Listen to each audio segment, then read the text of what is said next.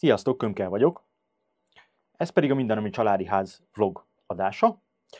Beszéljünk egy kicsit az ajzat felújításról használt házak esetében.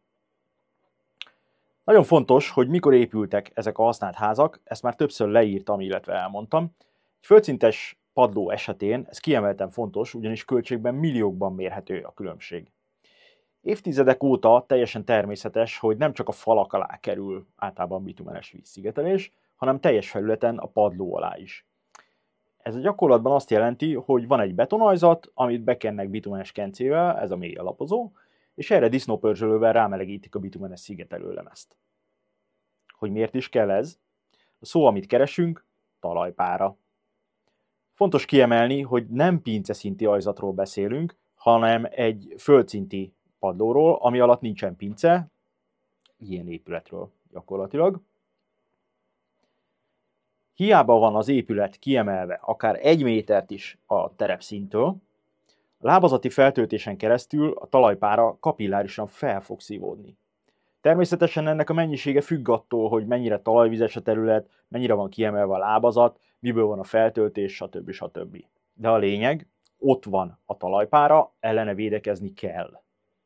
Erre leginkább a bitumenes lemezt használják, használták, mert egyszerű, olcsó, elterjedt, ez egy bizonyított módszer. Vannak más szigetelőanyagok is természetesen, amik ugyanilyen jól működnek, de ezekről majd később fogok beszélni, és maradjunk ennél a hagyományos bitumenes lemezes megoldásnál. Nem sokban különbözik egyébként a másik módszer sem, csak vannak más módszerek. Szóval ez a talajpára megjelenik a padlóban, és ha nincs ellene szigetelés, akkor komoly gondokat fog okozni a lakott térben is. Sokan szokták tőlem kérdezni, hogy ez korábban miért nem jelentett problémát. Padló a legtöbb esetben hajópadló vagy parketta volt a szobákban, mozaiklap vagy metlaki a többi helységben. Ezek a burkolatok átengedték magukon a lentről jövő párát, anélkül, hogy károsodtak volna. A régi épületek több ok miatt nem voltak légtömörek, túlzásokkal élve átfut rajtuk a szél. Nyílászárók nem voltak légtömörek, geréptokos nyílászáróról beszélünk. A fűtés a legtöbb esetben egy nyílt égésterű fűtés volt, kezdetben kájha, vegyes tüzelésű kazán, konvektor, nyílt égésterű gázkészülék, stb. stb. Ezek mind-mind mozgatták a levegőt, azaz bentről kifelé magával vitték a felgyűlemlett nedvességet is. Azt a hülyeséget felejtsük el, hogy a falak lélegeztek, mert ettől kihúlik a maradék szemem is. Van egy podcastem erről a lélegző fal legendájáról, akit érdekel, az hallgassa meg. De tény, hogy a jelenlegi modern nyílászárók beépítése és maga a nyílászáró is már légtömör, zárt égésterű a fűtés, amit használunk, pluszban hőszigeteljük a falakat, a födémet, a lábazatot, így ha a padlóban nincsen vízszigetelés, akkor a talajpára a benti légtérben fog feldúsulni, és keresgélni fogja a hőhidakat, ahol kicsapódhat, és penészként megmutatkozhat. Sok esetben találkozom azzal, hogy a régi burkolatra simán ráburkolnak, és az ingetlen hirdetésben már is az szerepel, hogy ez egy felújított padlójú épület. Na persze. Olyan kb. mint nyílt seben a raktapasz. Mi történik azzal a hajópadlóval, vagy parkettával, amire ráteszik tulajdonképpen a párazárónak minősülő laminát parkettát? Igen, jól sejtitek, szét fog rohadni alatta a parketta egyre gyorsuló tempóban. Lehet erre legyinteni, csak éppen ez a feldúsult nedvesség a laminát parketta alján fog kicsapódni, penész lesz belőle. A laminát parketta nagyon nem szereti, ha alulról nedves az ajzat alatta, és fel fog puposodni, egyre jobban fog huppogni, és ahogy lépdelsz rajta, úgy gyakorlatilag az alatta bepenészedett dolgokat szépen pumpálod ki a falszéleken, a szegélyeknél. Képzeld el, hogy ez mennyire egészséges. Régi mozaiklapra, ha ráburkolnak ragasztott kerámia burkolattal, akkor ugyanúgy párazárják az egészet. Itt azt lehet majd tapasztalni egy pár éven belül, hogy a burkolatnak a ragasztása elenged, ezek a burkolatok kopognak, feljönnek. Ezt egyébként helyszíni szemléken is szoktam látni, nem véletlenül szoktam megkopogtatni a burkolatokat. Az egésznek a megoldása az sajnos nem olcsó, nem kevés idő, rettenetesen sok munkával jár. A helyes rétegrend az lenne alulról felfelé, hogy van egy meglévő feltöltésünk, amit tömöríteni kell, ha kell tömöríteni. Van, amikor a lábazati feltöltésünk az salak például, ott megszívtuk. Legtöbb esetben azért homok vagy bármi más van, azt azért vagy be van már jól tömörödve, vagy lehet tömöríteni viszonylag jól. Erre rákerül egy tömörített kavicsréteg, viszont ha a külső terepszinthez képest 40-50 centivel magasabban van a belső terepszint, tehát magyarul a lábazatunk 40-50 centi minimum, és kellően tömörített a feltöltés, akkor ezt azért el lehet hagyni a gyakorlatban. Erre jön rá egy 6-8 cm-es ajzatbeton, vagy betonajzat. Ha ezen lesznek válaszfalak, akkor ebbe azért szoktam javasolni egy vashálót belerakni, legalább 5x150x150-es osztással középre. Erre jön rá a bitumenes kellősítés, majd a bitumenes lemez egy rétegben, amit viszont össze kell kötni a fal alatti meglévő vízszigeteléssel. Ha most belegondoltok, hogy mennyit mélyítettünk ki, ez azt fogja jelenteni, hogy a falak alatti bitumenes vízszigetelésünk az magasabban van, mint ez a padlóra rakott vízszigetelés, tehát itt fel kell hajtani a vízszigetelést, meg kell oldani körben. Ezt a függőleges felületeken való felhajtást, ezt már viszont modifikált bitumenes lemezzel kell megcsinálni, vagy kent vízszigeteléssel. A sima GV45 nem igazán alkalmas rá, mert az csak vízszintes felületre jó. Erre jön rá a lépésálló EPS hőszigetelés tetszőleges vastagságban, de ajánlott legalább 10 cm. A mai követelményeket egyébként minimum 10 cm elégíti ki, padlófűtés alá én már 15 éve 15 centit rakatok legalább. Erre jön rá egy PL fólia, és erre jön az ajzatbetonunk, valamint a burkolat. Látható, hogy ez a rétegrendünk, ez minimum 25 cm vastag, inkább olyan 30 szokott lenni, tehát ennyit kell kimélyíteni a meglévő padlóból.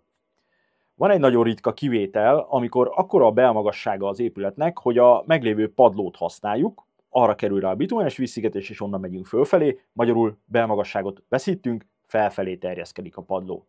Ez azért tud nagyon ritka kivétel lenni, mert egyrésztről nagyon kevés helyen van olyan belmagasságú tér, ahol 18 centit el tudnánk veszíteni a belmagasságban, minimum 18-at. Másrésztről pedig a, akkor az ablakok áthidalói, ajtók áthidalói minden változik, nem feltétlenül biztos, hogy költségben és egyebekben nem ugyanott van a végén.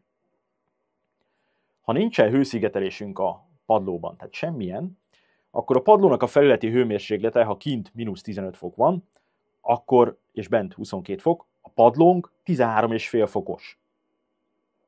Hagyok időt. Ez rettenetesen hideg, tehát még papucson keresztül is egyszerűen sugározza a hideget, amellett, hogy ez bőven harmadpont alatti hőmérséklet, tehát még penészedni is fog a padlónk mondjuk a, a falpadló találkozásánál. Ha már van 5 cm hőszigetelősünk a padlóban, lépésálló természetesen, akkor ez a felületi hőmérséklet már majdnem 19 fok, 8 cm-nél majdnem 20 fok, 10 cm-nél kicsivel több mint 20, 15 cm-nél majdnem 21 fok. Tehát érdemes hőszigetelni a padlót, és itt arról beszélünk, hogy most a jelenlegi árakon, ha berakunk 5 cm hőszigetelést, ahhoz képest a 15 cm hőszigetelés négyzetméterenként plusz 2000 forint, nem egy nagy tétel. Ezt most miért csinálod? Tök jól működött eddig. Tehát a hőszigeteléssel nagyon-nagyon jelentősen megnöveljük a padlónak a hőkomfortját.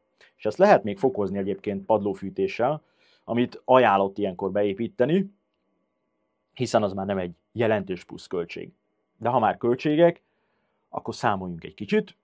2024-es bruttó költségekről, bruttó árakról beszélek, főváros környéki árakkal számolva. Bontásnál számoljunk úgy, hogy van egy réteg betonunk, és alatta feltöltés. Ez körülbelül ilyen 8000 forintra jön ki négyzetméterenként, plusz el kell pakolni a sittet, és el is kell szállítani. Ez ilyen még 6000 forint, tehát ez 14 ezer forint négyzetméterenként.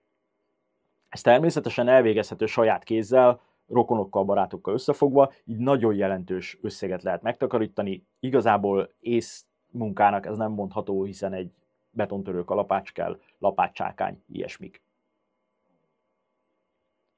Új ajzat építésénél kb. 40 ezer forintos négyzetméter költséggel kell számolni, plusz a burkolat, plusz a burkolás.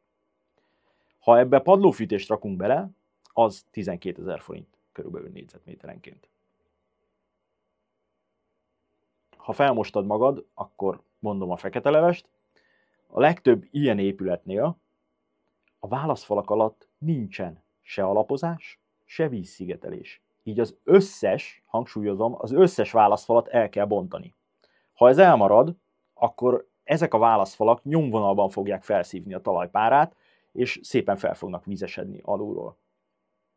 Falazott válaszfal két oldali vakolattal kb. 25 ezer forint körül jön ki fal négyzetméterenként, ebből építhető újjá. A példaépületünkben van 70 négyzetméter válaszfal, aminek az újjáépítése bontással együtt körülbelül 2 millió forint. Azért vannak ennek az új ajzatépítésnek előnyei is. A padlóban el lehet vinni a villanyvezetékeket, fűtési csövezést, vizet, szennyvizeket, nem kell a falakat szétvésni, ami arról az oldalról, tehát gépészet és villanyszerési költség oldalról csökkenti az egészet. Összegezzünk, vegyünk egy 100 négyzetméteres lakóépületet. Mondjuk egy ilyen kádárkocka soha nem volt 100 négyzetméter, ezek inkább ilyen 85-90, de mindegy. Az ajzatbontás tehát 1,4 millió, a válaszfalakat elbontani kb. 350 ezer forint, új ajzatot építeni 4 millió, ebbe a padlófűtést belerakni 1,2 millió, burkolásra számoljunk 15 ezer forintot, munkadíj, anyag plusz munkadíjba, az másfél millió, és ha az új válaszfalakat visszaépítjük, az 1,7 millió. Összesen, tehát valamivel több, mint 10 millió forintról beszélünk. Egy 100 négyzetméteres lakó hasznos alapterületű épületnél, tehát 100 ezer forintos fajlagos négyzetméter költséggel jön ki ez az egész. Burkolva, padlófűtéssel, de ebben nincs benne a villanyszerelés, víz és a szennyvíz. A másik komoly történet a pénzfaktoron kívül az az idő. Ez a munka körülbelül három hónap, mivel például a legfelső ajzatbetonnak kell 6 hét száradási idő a burkolása előtt. Ezért nagyon fontos tudni azt, hogy az adott épület milyen ajzattal rendelkezik. Ez profi nedvességmérő műszelekkel mérhető, de például, ha egy régi burkolatra ráburkolnak egy új mm, ajzatot, tehát rátesznek egy új burkolatot, akkor a műszer nem mutat igazából nagyon nagy rendellenességet, olyan, mintha lenne vízszigetelés. Mérni kell a válaszfalakat, belső ajtótokok sokat súgnak, küszöbök, minden árulkodó lehet. Itt tényleg a tapasztalat számít, mert nagyon durva megoldások születnek, építőipar csodálatos ilyen szempontból. Jut eszembe, akar valaki 2024-ben épülő új ikerházat venni úgy, hogy a válaszfalak alatt nincsen vízszigetelés? Kivitelező szerint ez teljesen felesleges, mert ott úgysem jön fel a talajpára. Ez egy 100 milliós új építésű ingatlan. De ugorjunk vissza. Általánosságban elmondható, hogy a 90-es években már használtak teljes padló alatti összefüggő vízszigetelést, de hőszigetelést azért még ott is ritkán. Ezért fontos tudni, hogy milyen az ajzat, mert ahogy láttátok, nagyon-nagyon durva költségekkel jár ez az egész.